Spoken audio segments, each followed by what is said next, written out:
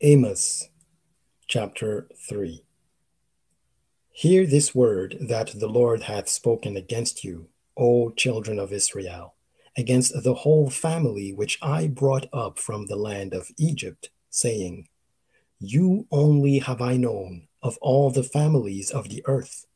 Therefore I will punish you for all your iniquities. Can two walk together except they be agreed?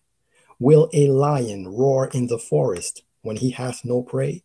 Will a young lion cry out of his den if he have taken nothing?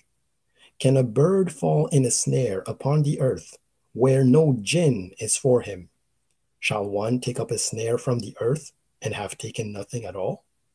Shall a trumpet be blown in the city and the people not be afraid? Shall there be evil in a city and the Lord hath not done it? Surely the Lord God will do nothing, but he revealeth his secret unto his servants the prophets. The lion hath roared, who will not fear?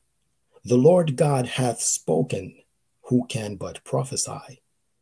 Publish in the palaces of Ashdod, and in the palaces in the land of Egypt, and say, Assemble yourselves upon the mountains of Samaria and behold the great tumults in the midst thereof, and the oppressed in the midst thereof. For they know not to do right, saith the Lord, who store up violence and robbery in their palaces. Therefore, thus saith the Lord God An adversary there shall be even round about the land, and he shall bring down thy strength from thee, and thy palaces shall be spoiled.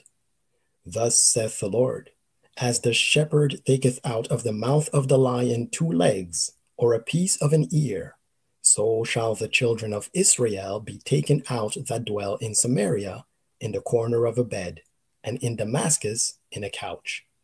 Hear ye, and testify in the house of Jacob, saith the Lord God, the God of hosts, that in the day that I shall visit the transgressions of Israel upon him, I will also visit the altars of Bethel and the horns of the altar shall be cut off and fall to the ground.